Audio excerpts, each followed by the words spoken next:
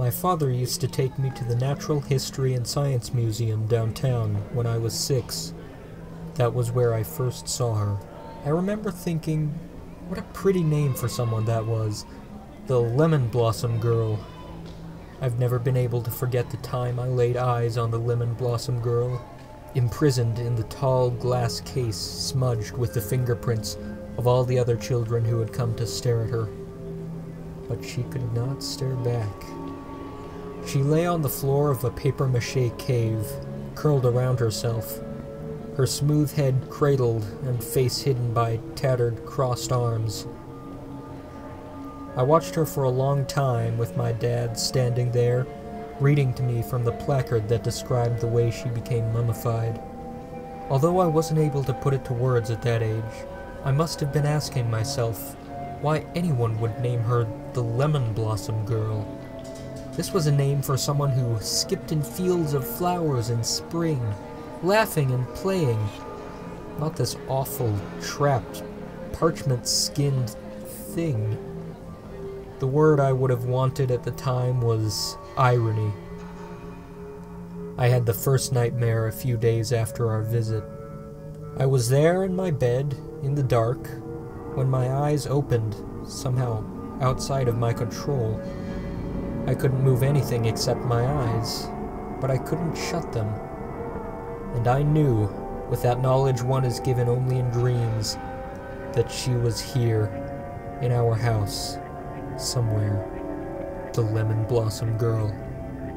She was no longer lying on her misshapen side in the museum behind glass. Or perhaps that's how she was in the house, in that same position, curled up beneath the kitchen sink. I couldn't see her in the dream, but I felt her presence. I knew that she was on the other side of the house, waiting for something, thinking bad thoughts with that smooth, yellowing head of hers, thinking of me. I woke up screaming. My mother came running in and comforted me, and my father must have been scolded for taking me to the part of the museum full of old, dead things. I had the same nightmare several times in the weeks to follow, but, like all things, it eventually stopped, and I was free to worry about whatever it is that six year olds worry about. When I was 12, my family moved to the East Coast, to Boston. My father had been transferred to a new position and given a raise, and since my mother wasn't working at the time, moving was the sensible thing to do. I said a few awkward goodbyes to my friends. At that age, it doesn't really dawn on you that you won't be seeing them next summer, and chances are you won't see them ever again. But I made new friends easily enough. The grade school I went to in Boston was much more reputable than my old school, but I didn't really notice other than how we took a lot more field trips. Field trips were never about learning. They were about leaving the classroom and being able to talk to your friends in an environment where your teacher didn't notice as easily. That's exactly what happened when Mrs. Hoffner took us to the Harvard Museum of Natural History. I paid absolutely no attention to the droning tour guide, and continued to pay none until I heard a phrase I hadn't heard in what, for a boy of twelve, was an eternity. Lemon Blossom Girl. My stomach sank. That name. That sickly sweet name that belonged to that monstrous thing. I snapped to attention and realized that the guide was talking about mummies now. As the class approached the human history room, my eyes darted among the cases. She was here. It was here. Somewhere. I glanced at the other mummies with their long and awkward Egyptian names, ending in Amun, Hotep, Tiri. They sounded exotic, impressive, regal. The sarcophagi were gold, with bright, expressive faces painted in blue and black on the heavy lid. These did not bother me, nor did the x-rays of what they looked like beneath the bandages. Their eyes were closed, their arms crossed on their chest, at rest. These were kings at peace. Not like the lemon blossom girl, whose glass I now stood in front of. She was no longer on the floor of that paper mache cave, now lying starkly upon a plain, gallery white platform. Somehow I saw more this time than I did, or remembered I did, when I was six. The room was brighter, and I was taller, almost tall enough to peer between her crossed, gnarled limbs and see dead eyes. How weird, I thought, that I would move to Boston only to see her again. Was there more than one? No, they must have moved her as part of some program. I learned more about her that day, listening to the guide. I learned that she was named for the area the archaeologists found her in, that it used to be a bog somewhere in South America, and that her odd, contorted position probably resulted from the way she died, struggling as she drowned. A diagram on the wall showed how she had been x-rayed in the 1960s and how scientists discovered an almost fully developed infant still inside her. She died pregnant. This added a new dimension to my nightmares, which returned that night. I woke back in my old room, as I had so long ago, in the dark, paralyzed, knowing that she was in our house somewhere. But now I knew she wasn't curled up in a ball. She was walking, shambling slowly, carrying her infant in her arms, its skin a cross between leather and paper, stretched tightly across mm-hmm. blackened bones. I knew these things, was made to know these things by the dream, but again never laid eyes on her. But she was in that dark house, in my mind somewhere. The nightmare ended, and I sat upright in my bed, throwing and kicking my arms and legs to make sure I could indeed move them. I didn't cry to my parents. I must have decided I was too old for that. But I didn't sleep the rest of the night. Again, the nightmares subsided after a few dreadful weeks, but not before I failed a morning exam or two for a lack of sleep. School came to an end in Boston. Junior high was a blur, with high school even more unremarkable. I was an average student. I sent applications to several large colleges in the area, only to receive letters of condolence in return. On a whim, I sent an application to Maple Grove University, a small school in West Virginia, just to see what would happen. Lo and behold, they accepted me and even offered a partial scholarship. I'm not sure why I decided on West Virginia, but I did. I suppose I wanted to be out of my parents' house, on my own, taking full responsibility for myself. I don't think the scholarship hurt either. Freshman year, my parents helped me move my things into Polson Hall, one of the two undergraduate dorms, and said a tearful goodbye. But I was free now. I felt like an adult.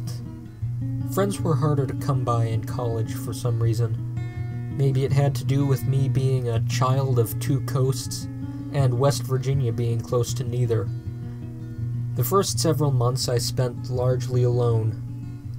Our Communications 15 study group broke early one Saturday night at about 5:30, and I suppose I didn't feel much like heading back to my dorm room and dealing with my suite mate and his filthy socks.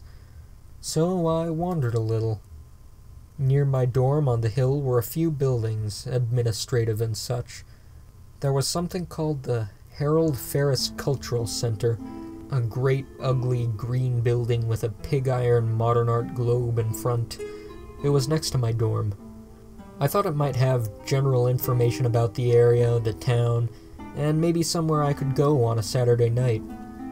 When I got there, I discovered that the information booth only had pamphlets about cultural studies and outreach programs. That and a little old lady. She said the center closed at 6, but since I was the only one here, I could stay a while after and look at the exhibits. Something about that word always bothered me. An exhibit was something on display for others to stare at, to watch. The plural of the word was worse, as it implied a cold room with dim lighting cast on ancient, quiet things. The exhibits. She pointed me at the room, but it wasn't until I was in the archway that I realized what I was looking at. It was a cold, cold room with dim yellow lights in the ceiling, focused on pots, arrowheads, and other historical trinkets, and one large display in the center of the room. Lemon Blossom Girl. I stumbled backwards. She was here.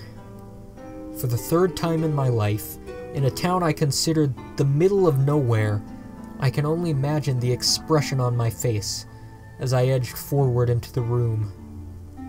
South American relics, 1200 to 1500 AD, the sign said.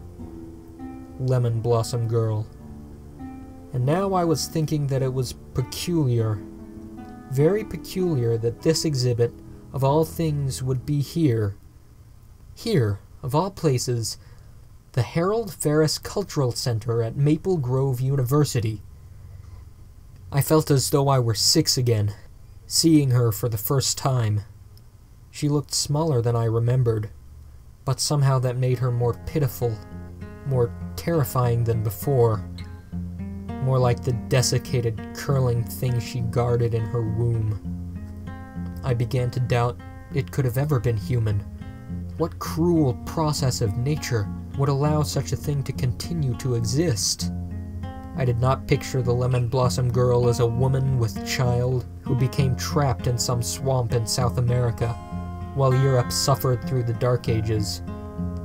She had always been like this, somewhere or other dried and dead and paling under electric lamps since the beginning of time, carrying a smaller mockery of herself inside her, twisted and splitting curling in her own womb of glass. No, no, this thing had never been a human being. She was Lemon Blossom Girl, forever staring out with empty sockets through crossed arms and legs, trapped in a place where children can watch her. But she could not watch back.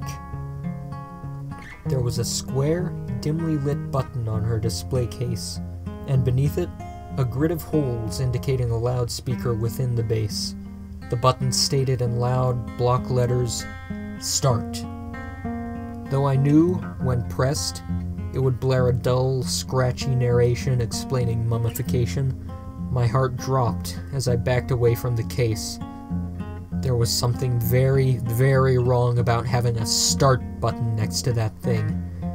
All I could think was, start moving, start breathing, start scratching at the glass. Time to close up, an old voice called from the front desk, and I uttered a startled noise. The sound echoed in corners of the hall that the dim lights didn't reach. That night, I wasn't in my dorm room. I was at home, in my old bedroom. My eyes were open, but I couldn't move. But it was different this time. This time, I didn't know if she was in the house with me. I didn't know until I heard a sound like splintered wood sliding against burlap and wet paper. I smelled something thick and ancient, like parchment and faintly cloves. A sickening, thick, spicy sweetness. She was here, in the dark. I watched, unable to even shiver, perhaps held in place by the same abominable forces that would allow a corpse to be preserved, to stay whole, to persist for 800 years. And now, from the black doorway, the lemon blossom girl shuffled in, her thin, reedy breath amplified by the dead quiet of night. She lurched forward, slowly and unsteadily on bone splinter legs, stopped in the middle of my room, and turned. Now she was watching me. She held something close. Something I did not want to see. Something I was beginning to make out in the moonlight. It squealed. That was six days ago. Six days ago, and she hasn't stopped since. I know she is down there, my lemon blossom girl, behind glass, closer than she has ever been. She can follow me as far as a museum display, but she needs my dreams to come closer, to watch, to hold her young. I know she is down there, thinking bad thoughts in that dead, dry head of hers, thinking about me. This morning, I went to the gas station and returned with one gallon of gasoline and a box of hurricane matches. Tonight, I think I'll pay her one last visit.